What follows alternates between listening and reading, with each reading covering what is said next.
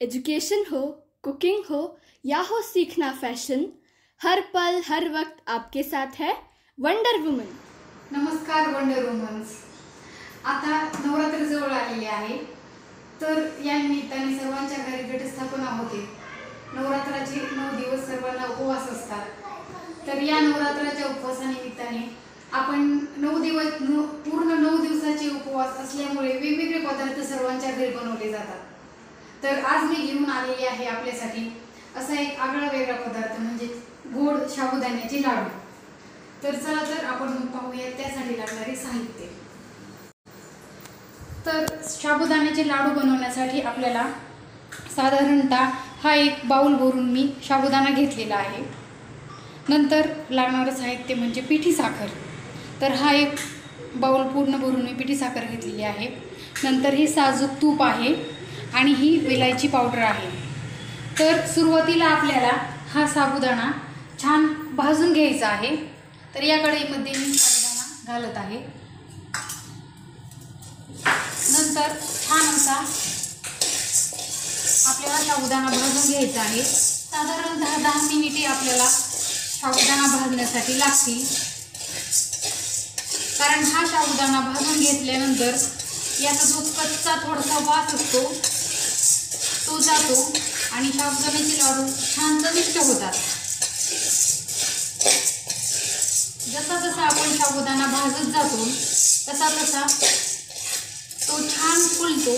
आपल्याला याचा कलरही बदलला नाही पाहिजे पांढरा शुभ्रच राहिला पाहिजे.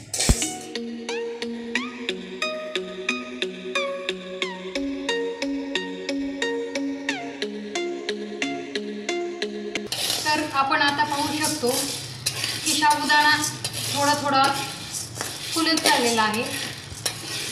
जसा जसा गरम होईल साबुदाणा तसा तसा तो फुलतो.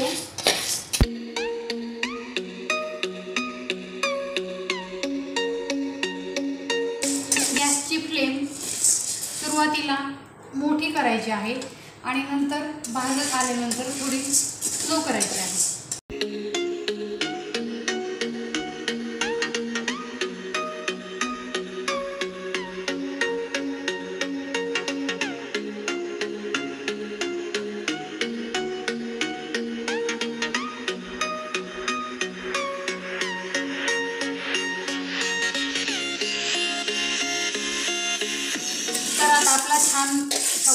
साबुदाणा आहे तुम्ही पाहू शकता. तो छान असा फुलला आहे. आता आपण हा काढून घेणार आहोत प्लेटमध्ये.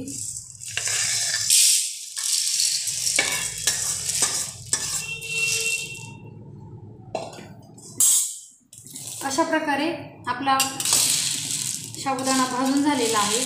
छान फुलला आहे आणि याचा कलरही तोच राहिलेला आहे. जळूही द्यायचा नाही आहे जास्त साबुदाणा. नाहीतर जळालेला त्याला वास लागू शकतो. आणि फुललाही पाहिजे. तर मग हा साबुदाणा पूर्ण थंड होऊ द्यायचा आणि थंड झाल्यानंतर तो गिरणी तो आपण दळून आणायचा बारीक पूर्ण किंवा मग आपण मिक्सरमध्येही बारीक करू शकतो.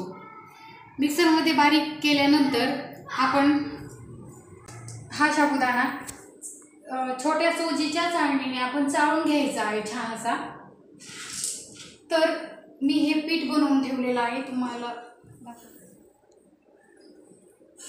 तर हे मी मिक्सरमधून काढून चाळून घेतलेलं बारीक पीठ आहे साबुदाण्याचं. आणि याच बाऊलने हे जेवढे पीठ आहे तेवढेच पिठी साखर घेतलेली आहे. तुम्ही तुमच्या आवडीप्रमाणे थोडीशी कमीही वापरू शकता. नंतर आपण साजूक तूप घेतलेलं आहे. तर आपण लाडू बांधायला घेणार आहोत. साबुदाण्याचे पीठ घालत आहे. नंतर यामध्ये ही पिठी साखर घालणार आहे.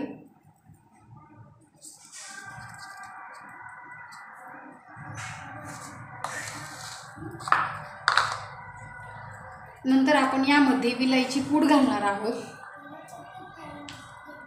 आपल्या आवडीप्रमाणे कमी जास्त. हे छान असं मिक्स करून घ्यायचं.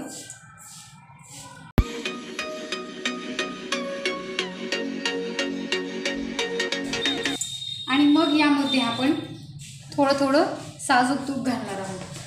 याला वनस्पती तूप वगैरे नाही चालत कारण छान चव येण्यासाठी याला साजूक तुपाचाच वापर करायचा आहे. तर तुपाचं प्रमाण पण साधारण याच्यामध्ये थोडं थोडं तूप घालायचं आहे.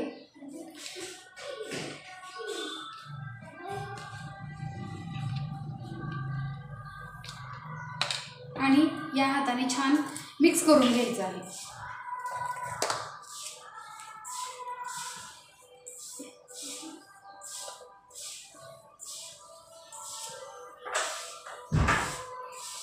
तूप घट्ट असेल तर थोडंसं गरम करून घ्यायचं आहे.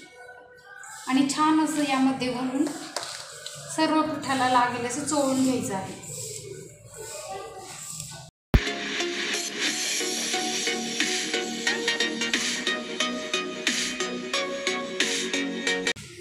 साधारण पीठ मऊ होईपर्यंत आणि साधारण आपला असा लाडू बनवण्यासाठी गोळा झाला पाहिजे तयार एवढं आपण तूप याच्यात घालायचं आहे.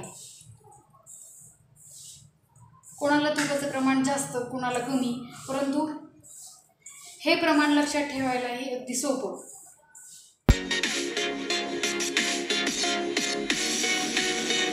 हे लाडू खूप छान होतात चवीला.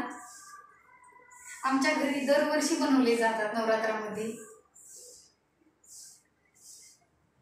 हा आमच्या घरचा एक स्पेशल पदार्थ असं पण आपण आम्ही म्हणू शकतो. हे पहा आता आपण पाहू शकतो की आपलं पीठ छान असं मऊ झालेलं आहे आणि लाडूही वळाय वळायला येतील आता. असं मऊ झालं.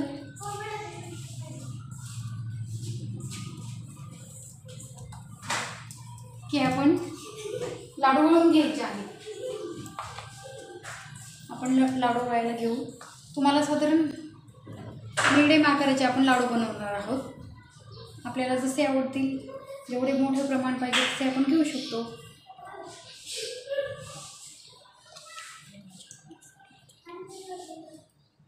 अलगद हाताने लाडू असे वळवायचे छान असा दाब देऊन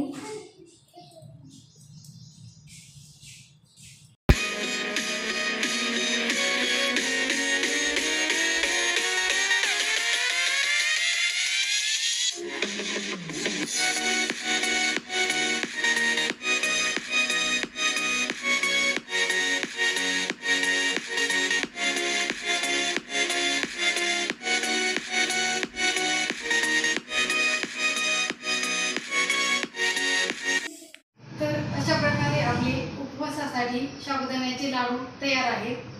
तुम्हीही सर्वांनी नक्की ट्राय करा. आणि आमच्या वंडर वुमन या यूट्यूब चॅनलला लाईक करा शेअर करा कमेंट करा आणि सर्वांनी सबस्क्राईब करा. धन्यवाद.